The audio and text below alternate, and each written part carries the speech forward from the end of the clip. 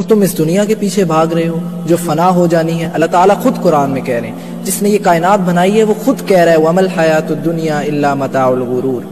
कि ये दुनिया धोखे के माल के सिवा कुछ भी नहीं है